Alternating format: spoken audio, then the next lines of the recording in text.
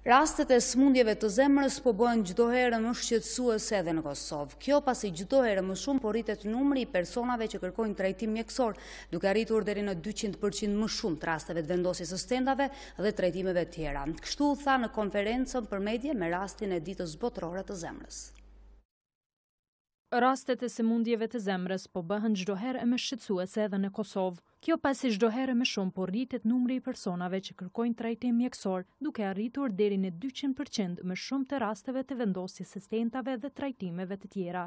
Kështu u tha në konferencën për media me rastin e Ditës Botërore të Zemrës të organizuar nga Instituti Kombëtar i Shëndetësisë Publike të Kosovës në bashkëpunim me Klinikën e Kardiologjisë dhe qendrën kryesore të mjekësisë familjare në Prishtinë.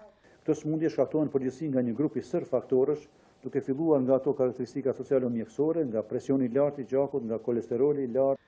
Në Ditën Botërore të Zemrës, ministri i Shëndetësisë, Uran Ismajli, ka vizituar Klinikën e Kardiokirurgjisë në QKUK me rastin e vënies së stentave te pacientja e njëmijtë.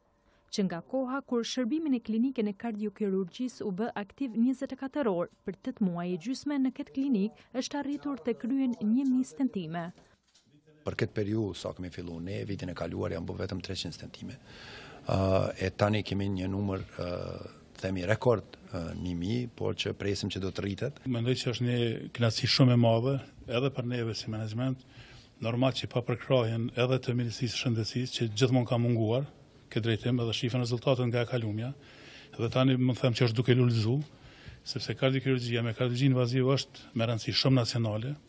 29 shtatori është dita botërore e zemrës, ditë e cila në shumë vende të botës shënohet duke mësuar për sëmundjet kardiovaskulare.